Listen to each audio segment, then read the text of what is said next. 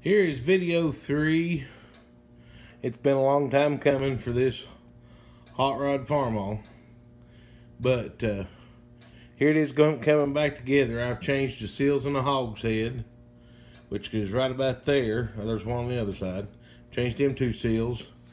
I've got the drop axles apart to change in, but this drop axle here, it's got a hole right there above my finger.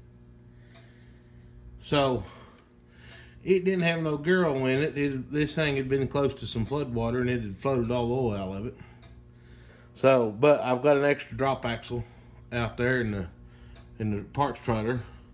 So I'll put this one back together with the short with the short axle and grab that one out there and change it out and put that one on here upside down like we did on that pink one I've showed you all video of.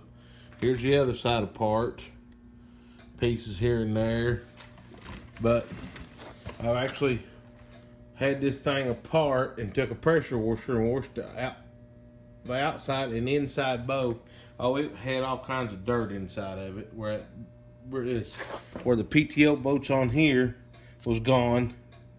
It uh, it was plumb full of dirt. But I've got it all washed out and trying to put it back together, one piece at a time. As you can see, you see, I'm tightening up the last bolt to bolt that axle on.